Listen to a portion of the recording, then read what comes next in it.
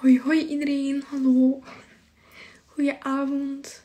Ik ben nog even snel mijn dagcreme aan het aandoen. Dag Alisa.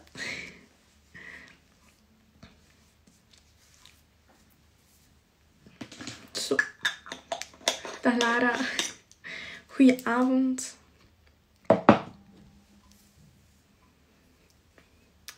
Uh, ik ga vandaag gaan voor een iets wat lente-zomerlook die redelijk simpel is. Um, ja. Ik weet niet of jullie het fotootje hebben zien passeren.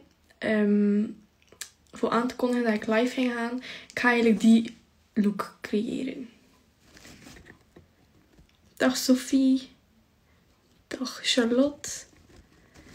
Een vraag. Is de luxe make-up cover van Anken echt leer? Uh, nee omdat I Am Clean is um, vegan, dus uh, niks is van dieren gemaakt of op dieren getest. Ik ga hem even kort voorstellen. Dus ik ben Bo van uh, Bobel in Beckham. Ik ben sinds kort ook visagiste voor I Am Clean en 100%. Dus jullie zullen me af en toe eens zien passeren op demo's of workshops. Um, en ik ben nu bijna een jaar een verkopend van I Am Clean. hey! Oké, ik ga er aan beginnen. Een beetje mijn haar. Ziezo. We beginnen natuurlijk met de nieuwe primer. Ik heb al uh, dagcreme aangedaan. Deze ga ik eigenlijk gewoon aanbrengen met mijn hand. Handen. En ik doe daarvoor één pompje. En ik breng dat vooral aan in de T-zone bij mij. En dan smeer ik de rest uit. Ook onder de ogen doe ik dat altijd. Omdat ik heb redelijk droge wallen. En als ik dat niet doe, zou de make-up eigenlijk echt wel daarin gaan kruipen. Dus altijd ook een keer goed je primer onder de ogen doen. ja, Likami productjes. Ik heb ook um, voor de dagcreme nu... Normaal doe ik de Brightening Serum aan van Likami voor in de ochtend. Oké, okay, ga ik um, de Liquid Foundation aan, de nieuwe. Voor mij is mijn match de Cool 2. Ik dacht eigenlijk altijd dat ik een One type was. Maar um, ik had dan de Cool Um, de One 1 en 2 gecombineerd. En ik vond dat eigenlijk echt te heel voor mij persoonlijk. Dus ik heb dan een keer de Cool getest. En die matcht perfect voor mij. Ik doe eigenlijk altijd een pompje op mijn hand. En ik verdeel dat met stipjes. Zodat ik overal een beetje evenveel product heb. Zo. Ook onder de ogen.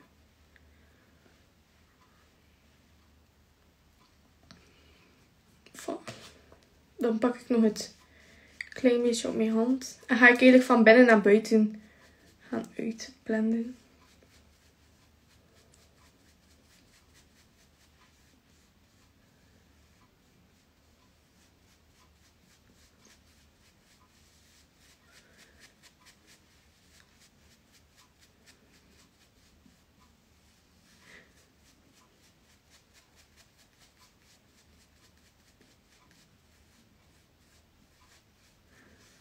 Dat iedereen die erbij aan het komen is.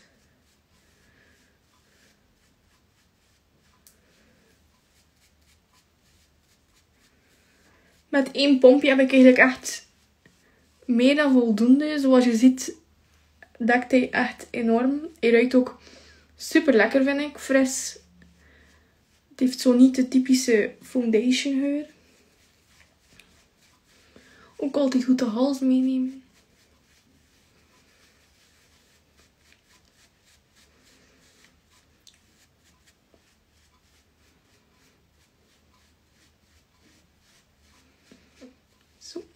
En dan doe ik nog een keer met mijn handen dan nog een beetje extra uitblenden.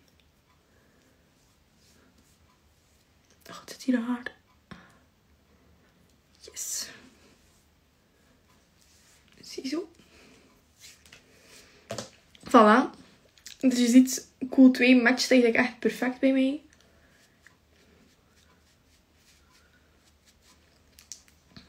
Zo. Dan ga ik um, de losse concealer gebruiken, omdat ik vind dat de concealer stick met um, deze liquid foundation eigenlijk echt niet nodig is, omdat die eigenlijk al voldoende dekking heeft voor mij. Voilà. We gaan dan het potje open draaien. Yes. En het tekseltje.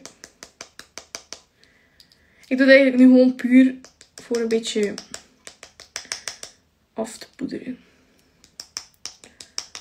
Voilà. Daarvoor gebruik ik de concealer kwast. Goed erin draaien. Zo. Keer afdekken. En dan begin ik eigenlijk van binnen naar buiten. En eerst stippel ik dat wel. En dan ga ik gaan wrijven. Ook altijd goed in mijn binnenste ooghoekje, want bij mij zat daar eigenlijk het blauwst van allemaal. Ja, je ziet dat ik daarnet nog mijn bril heb aangedaan. Ik heb vandaag zitten studeren. Voilà. Dan nog voor het andere oog.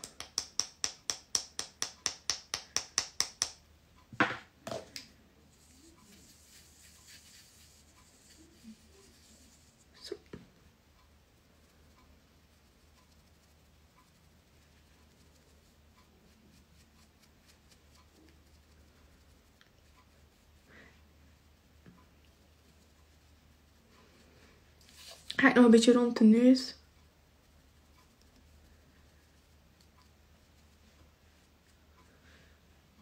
Ziezo.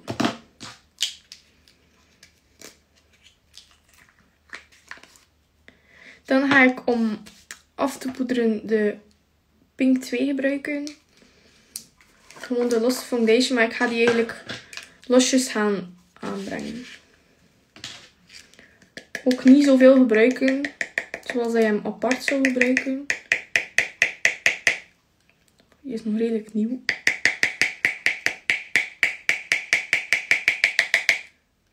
Yes. Dan de kabuki. Uh, deze blijft wel gewoon dezelfde in het hamma. Um, dus hij hoort eigenlijk bij de nieuwe collectie. Het opnemen. Dan ga ik overal toch nog een keer een stipje zetten. En dan ga ik er gewoon losjes over. En ik vind het leukste om dan te dappen, zodat ik mijn liquid niet ga verplaatsen.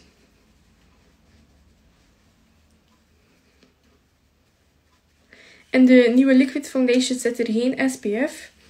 Maar in de poeder zit er wel nog steeds SPF. Als jullie vragen hebt, hebben, sorry, mogen jullie ze ook altijd stellen. Ik ga nog een klein beetje. Voilà. Ik gebruik nu de pink. Ik heb ook de Cool van de Liquid. Oei. Zie je geen reacties? Ik ga even...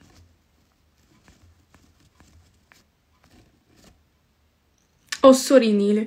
Um, is de foundation wat stugger? Uh, nee, hij is gewoon ietsje dikker, maar ik kan hem wel nog steeds heel mooi uitblenden. En de vraag van Lara, het is dus de Pink 2. Dus ik heb de Cool 2 en de Pink 2 genomen. Precies zo. Voilà. Is eigenlijk gewoon puur om af te poederen.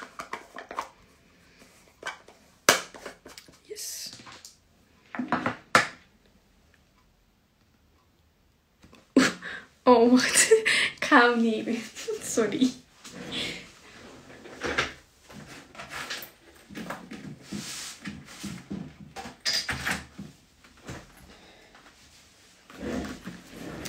Dus dat is de grote koffer. Dus hij ziet er zo uit. Dan ga ik hem open. En dan heb je eigenlijk een hele mooie... Ja, nu zie je mijn hals. Alles lag mooi klaar. Uh, dus de mooie spiegel. Ehm, en dan hierin kan je je penselen steken. En dan hierin het vak zijn allemaal schuivertjes. En je kan die eigenlijk eruit halen. En zetten waar dat jij wil. Voor alles te orderen. Sorry, ik had het echt niet gezien. En er komen zoveel meldingen hierbij van die kijkt mee en die kijkt mee. Sorry, bij deze. Ik hoop dat ik geholpen heb.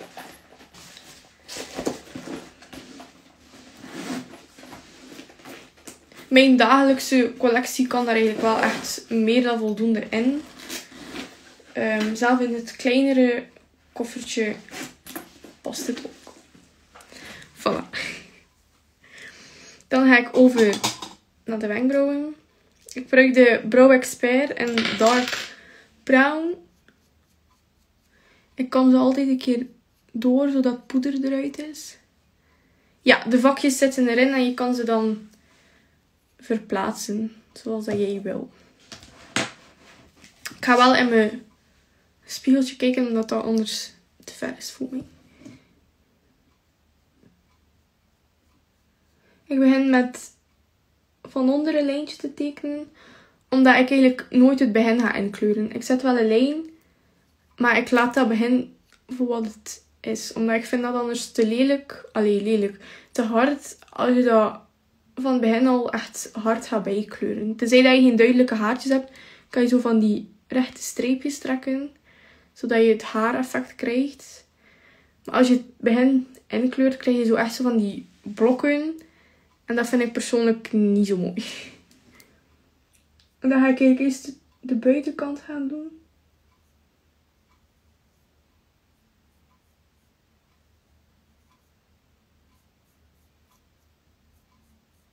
Je ziet, ik kom nu ook niet aan het begin. En dan ga ik wel gaan inkleuren. Persoonlijk hou ik wel van uitgesproken wenkbrauwen.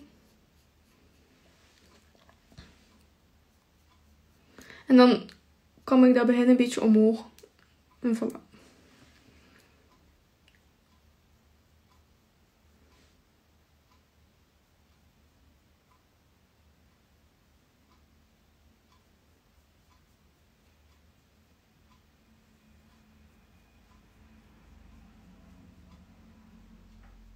Kijk, zoals hier, dan heb ik minder haartjes. En dan doe ik zo een beetje. En dan kom ik dat door.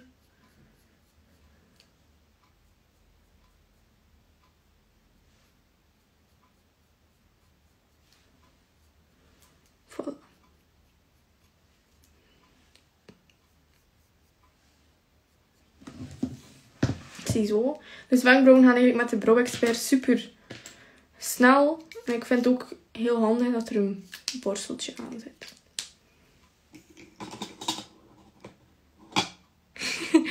ja, inderdaad. De kleine is wel handig als je op reis gaat of zo. Um, en je eigenlijk alleen maar je essentials meeneemt. Dan is hij wel echt praktisch. Um, dan doe ik de Pro Mascara. Ook weer in de dark, dus de medium to dark. Er zitten hier zo van die vezeltjes in. Die je wenkbrauwen ook gaan opvullen. Dus je kan die ook perfect alleen gebruiken. Ik ben fan van eigenlijk de haartjes omhoog te leggen. In plaats van zo mee mooi met de lijn.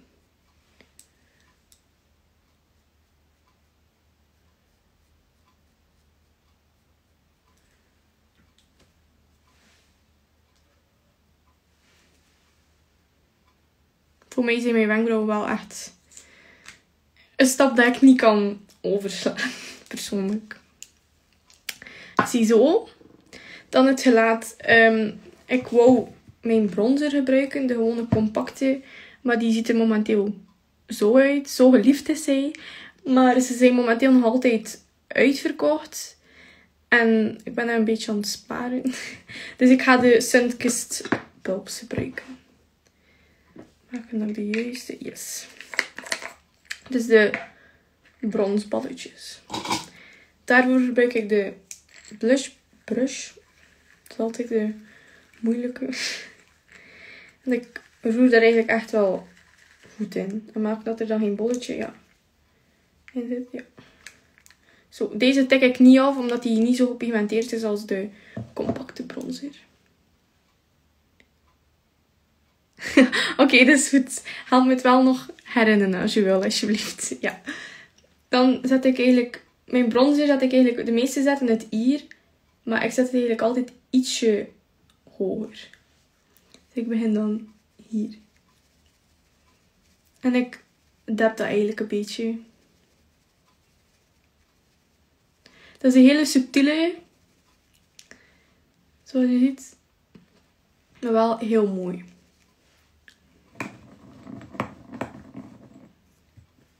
Ook het voorhoofd een beetje.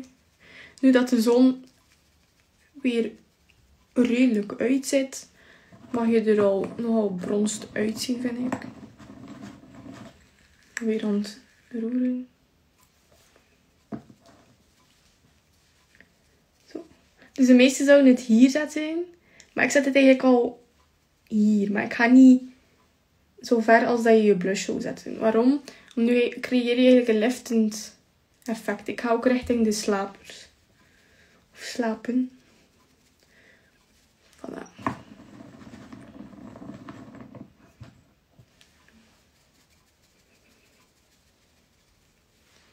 En de neus doe ik ook een beetje.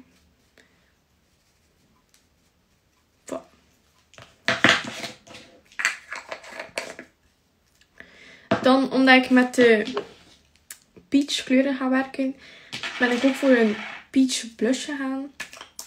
Ik vind het wel mooi. En het is de nummer 1. Met de losse moet je wel redelijk voorzichtig zijn, omdat ze wel echt gepigmenteerd zijn. Dan terug met de blushpenseel. En ik neem het eigenlijk plat op en niet recht. Want eigenlijk is het de bedoeling dat je plat met je penselen gaat werken. Dus ik neem het zo op. En niet zo. Oké, okay, afdekken. En dan waar dat je bronzer hebt gezet, maar die mag je een beetje verder doortrekken. Wel twee vingers altijd van de neus blijven. Ik begin terug van achter, omdat als je in het begin begint, alleen zo in het midden van je wang, ga je hier een vlek creëren en dan ga je die niet meer wegkrijgen. Als je hier een vlek creëert, gaat dat minder opvallen en gaat makkelijker zijn voor hem te werken.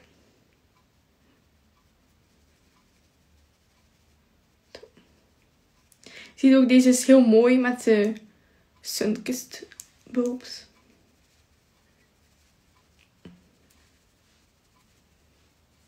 Ik vind redelijk wat blush wel mooi.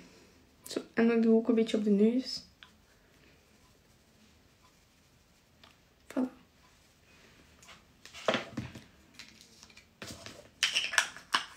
Dus dat was de Peach 1. De Pleasant Peach 1.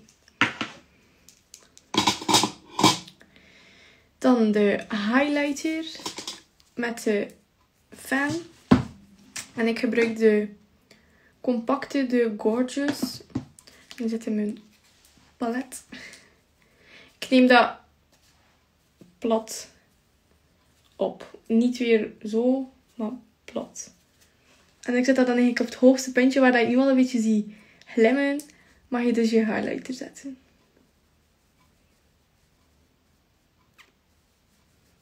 Dit is heel subtiel, vind ik. Je kan hem ook sterker maken door de fixing spray eerst op je penseel te gaan aanbrengen en dan door je highlighter gaan. Zo. Beetje op de neus.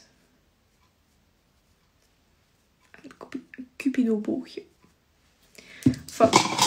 Nu gaan we over naar de ogen. Ik begin met de eye primer. Zodat de oogschaduw goed gaat blijven zitten. En ook omdat de kleuren dan eigenlijk mooier zullen uitkomen. Je mag daarvoor eigenlijk je vinger gebruiken of een penseel gelijk welke. Zo.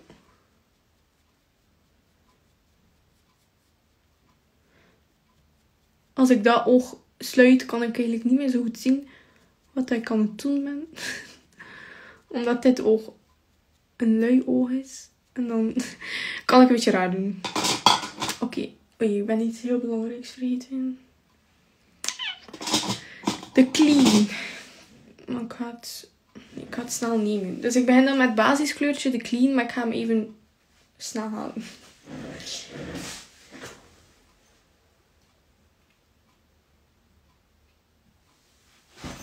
Voilà.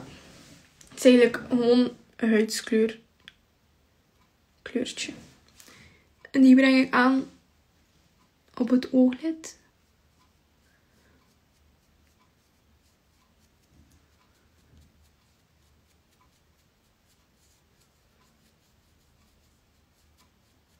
Dat is niet zo belangrijk tot waar dat je daarmee gaat. Ja, um, je kan me vinden onder um, op Facebook at Instituut Bobel. Of op Insta gewoon als je Bobel opzoekt, kan je het ook zien. En ik heb ook een webshop. En die staat dan met de link altijd in de beschrijving op mijn pagina's.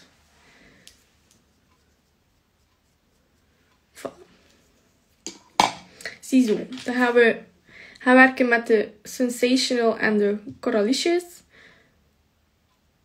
Um, ik ga het anders...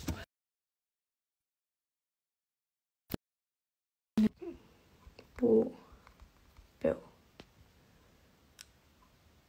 Ah, dank Lara. Zo, ik ga beginnen met het donkerste kleurtje. Allee, donker is hij niet de Sensational. En deze ga ik met de blending gaan aanbrengen. Ik ga er eigenlijk redelijk goed in. Voilà, ik tik ik hier af. En ik zet dat dan eigenlijk buitenste ooghoekje en eigenlijk in de arcadeboog, maar niet helemaal tot binnen. Ik ga eigenlijk ongeveer tot ja, twee derde van mijn oog. Ik stip hem eerst een beetje aan.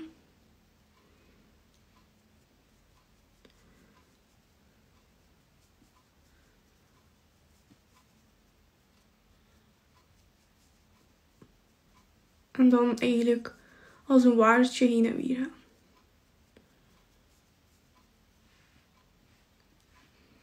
Voilà. Ik ga een propere nemen.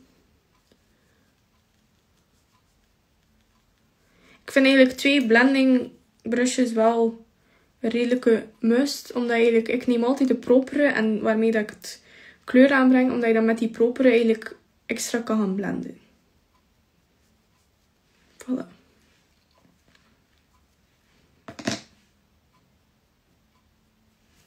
Ziezo, nu het andere oog.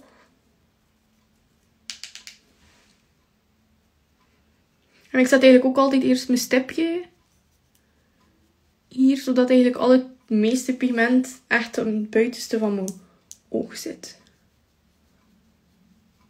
En als je dat moeilijk vindt om je arcadeboog te vinden, is het eigenlijk makkelijk om een keer gewoon rechtdoor te kijken en je penseel daarin te zetten. Of dan zo en dat je de kleur hierin zet. En dan weet je eigenlijk perfect waar dat je moet zijn.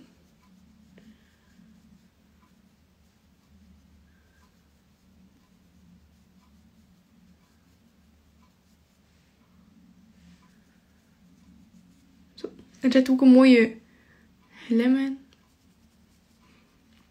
Voilà. ja, ik vind dat wel echt een must.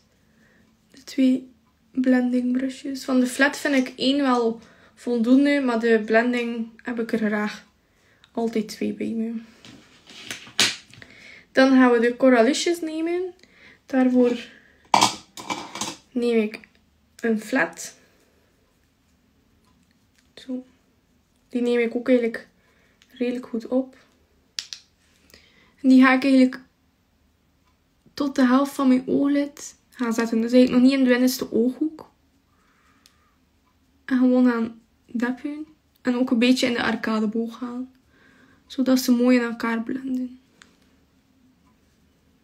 En deze is wel echt een mat kleurtje. Er zit geen blinker in. Zie, nu, nu zie ik dat niet zo goed. Ik weet niet of andere mensen daar ook nog last van hebben. Van een lui oog. En als je dan het oog doet dat goed is en een beetje toe moet of dicht moet, dan gaat dat minder goed.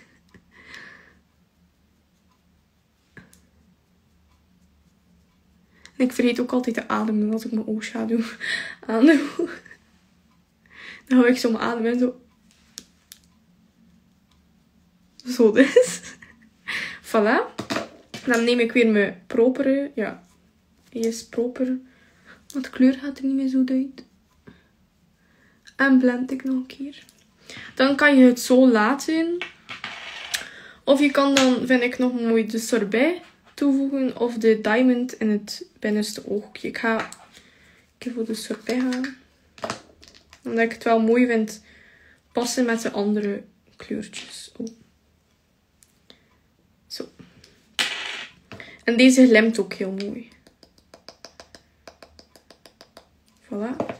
Niet heel veel. Dan terug de flat. Ik veeg hem een beetje af aan mijn hand. En ik neem hem eigenlijk terug goed plat op. En dan zet ik dan nog waar dat blanco is gebleven.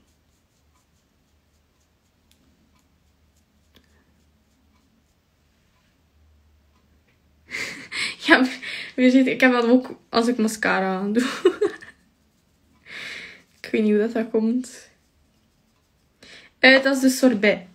De losse. Maar op camera kon het niet zo over op beeld. Maar in echt is het wel super, super mooi.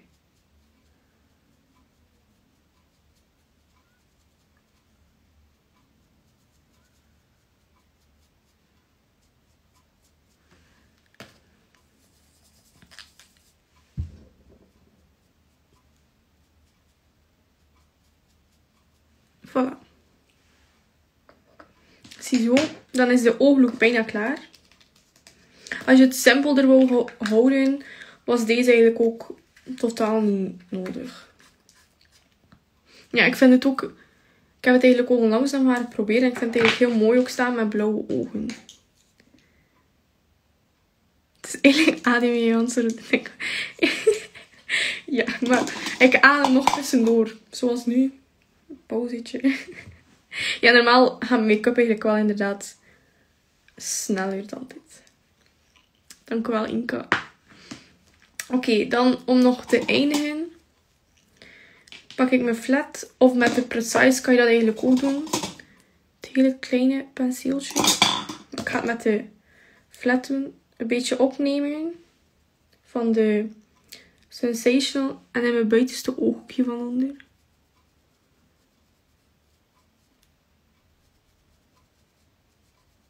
En eigenlijk ook niet tot helemaal het einde gaan. Omdat als je dat gaat doen, ga je eigenlijk je ogen weer kleiner maken. Bij mij zou dat geen kwaad kunnen, omdat ik eigenlijk redelijk grote ogen heb. Maar als je kleinere ogen hebt, is dat beter om dat niet te doen. Voilà.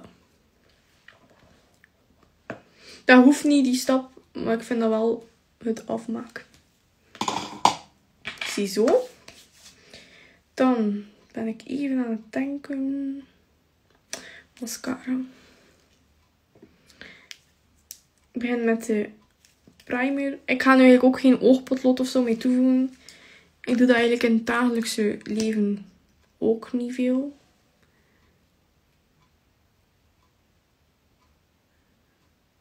Ik leg de focus altijd op mijn buitenste wimpers. Oh nee gebeurt ook altijd. Zo. De tip is eigenlijk ook om een spiegel te nemen en dat eigenlijk onder je te plaatsen, zodat je zo kijkt. En dan heb je minder kans om tegen je huid te zitten. Zo, voilà. Dan laat ik dat er wel drogen. Is dit ook je dagelijks? Uh, ja. Ik durf dat wel ook dagelijks aan te doen. Maar dan doe ik eigenlijk meestal gewoon maar deze twee. samen. Omdat het dan een beetje sneller moet gaan. Ehm, terwijl ik de primer laat drogen, ga ik al de fixeur aanbrengen. Ik neem de groene, omdat ik eigenlijk wel een redelijk vette huid heb. En zeker naar de zomer toe durf het rapper zweten en vettig worden. Dus van de afstand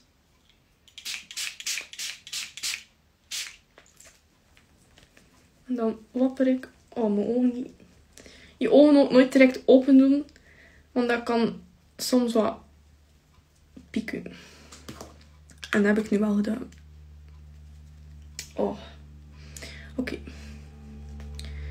Ziezo.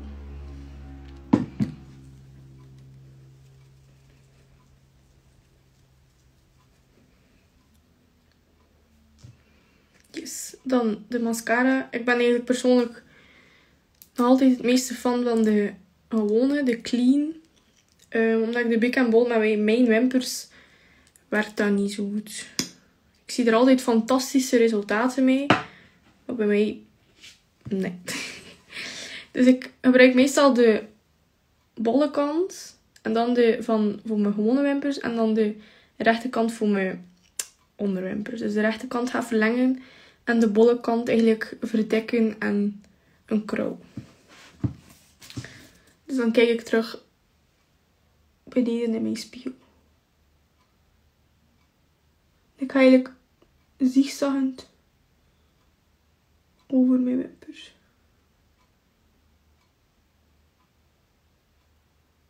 En dan terug goed de nadruk op de buitenkant.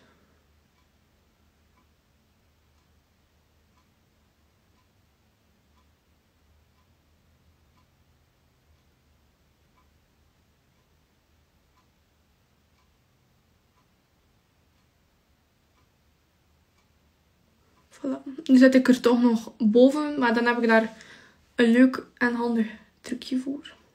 Ik moet eigenlijk ook nooit terug in mijn mascara gaan, omdat er nog voldoende aanhangt.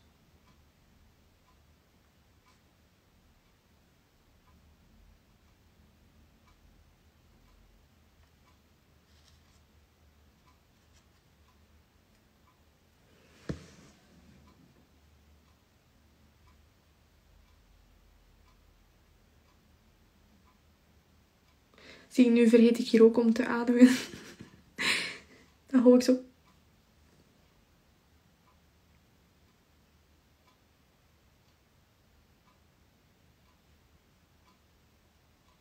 Voilà. En dan nog de onderwimpers met de rechterkant. En dan kijk ik eigenlijk zo in mijn spiegel.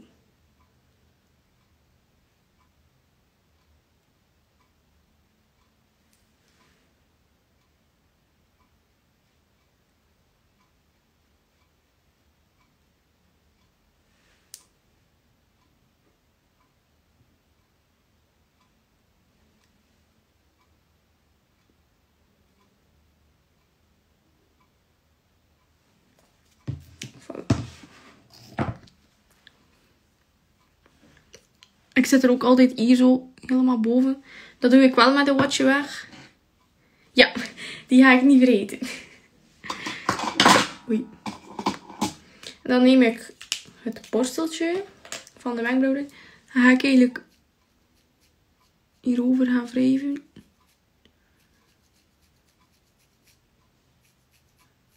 En dan neem je je oogschaduw niet weg, maar wel de mascara. Ziet er super raar uit. Mensen die nu toekomen gaan waarschijnlijk denken, oei, wat ben, is zij aan het? Ik ga dat een keer proberen. Ja, nee, dat was niet slim. Ik druk het. Kom. Je hebt daar ook van die wegwerpborsteltjes en die kunnen ook perfect gebruikt worden. Oei. Oh, ik ben er een boeltje van, maar... Oké. Ik ga er even weer een keer over.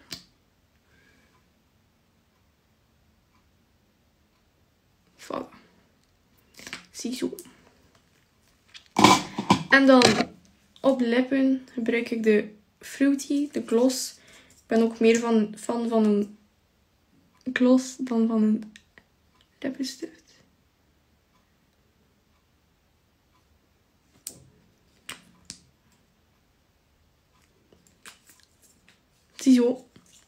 En dat is dan nog de look. En dan ga ik nog de kleine make-up koffer tonen.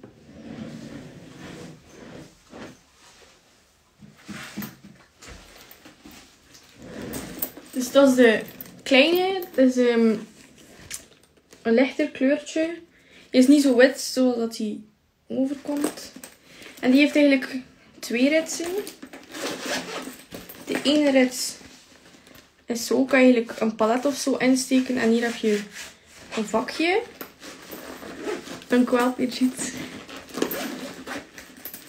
En dan het andere vak. Is zo. Voor je penselen terug.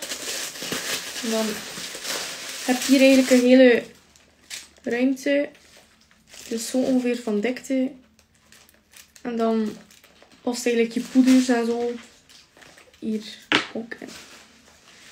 Even naar de reacties staan. Ik denk perfect voor mij op vakantie. Ja, voilà, inderdaad. En dan de grotere vind ik handig voor eigenlijk eerder thuis. Als je geen make-up tafel of zo hebt om alles op te bergen.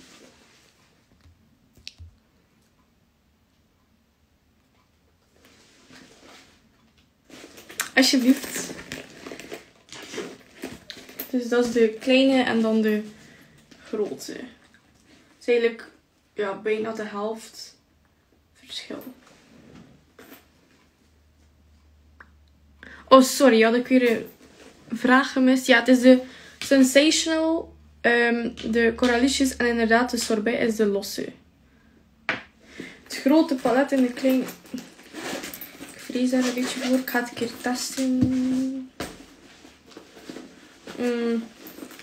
En die kant niet. Dan ga ik het proberen in de diepe kant.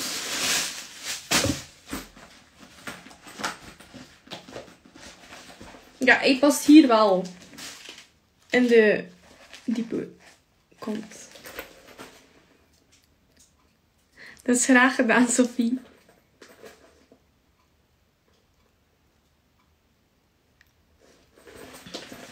Dus hij, hij past er wel in. Hoop dat ik geen vragen meer gemist heb. dus dat is de look. En je ziet eigenlijk, ik voel, ik heb de liquid foundation maar ik voel hem niet zitten. En dat vind ik ook echt zeer belangrijk voor de foundation. Voilà. Dus jullie kunnen me terugvinden als Bobel op Instagram of op Facebook als Instituut Bobel. Dankjewel om te kijken allemaal. En ik ga de look nog posten op mijn pagina en op de I Am Clean pagina. Tada!